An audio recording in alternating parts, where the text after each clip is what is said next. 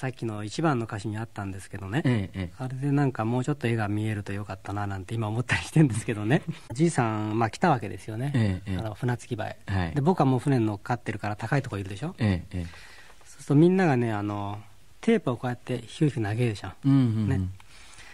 ところがほらじいさんもちろんそんなもん持ってないわけだから、ええ。ええー投げ損なったテープってあるでしょえあはいはい。あれ拾ってね、うん。あの投げるわけですよ、うんところがこれが届かないわけだね。それで僕はもうそれが非常に良くてね、ううん。んいい感じがしたんですただ、その時の僕その頃の僕の精神状態っていうのは、うん。非常になんかダウンしてた状態であったから、まあいいな本当に良かったなみたいな感じですけどね、うんうん。ただもし会えるんだと今会うともうちょっと違った付き合いできそうな感じはうん。しますね、え岡本さんにとってその詩を書く作業ってのはえどどういうものなんですかね。え今はエネルギー書きたいですね、うんうんええ。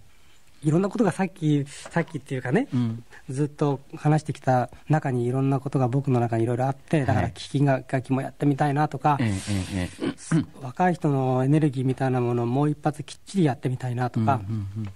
違った主人公を登場させてそいつに暴れさせたいなとかね、えええだから前は自分の生活に密着したものを書くということだったかもしれないけども、うんうんうんしかし今度は全然違った自分の分身がね、えうん。あの年齢を超えて暴れるというかね、うんうんうん。そういうふうに今考えているんですけどね、うんうん。だから酒場へ行ったら誰か、えー年寄りが歌っていたと、うんうん。例えば僕はそれを一曲書くと、うんうんそれである時ステージを全部揃えてその曲を全部揃えると実は一個のストーリーになってたというやつをね、うん。書いてみたいなといううんうんうんうん。気がねうんうんあるんですよ。だから今トレーニングを始めてるんですけど、えええこれがねなかなか進まないですよこれが結構非常に不健康極まりない生活も旅の中とかその他もろもろでその後送ってきてたから、えうんうん。なんか非常にあのなんか学校の先生になったような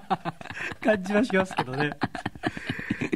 岡本治作「旅に歌あり」え出演は下條アトムとえー岡本治でした。えそれでは皆さんさよなら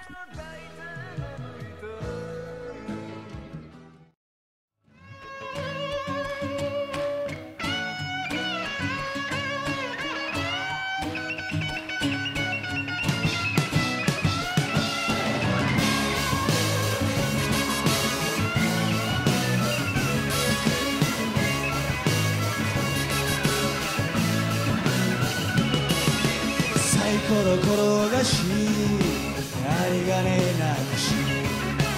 風景暮らしのあの人生どこかで会おう生きていてくれ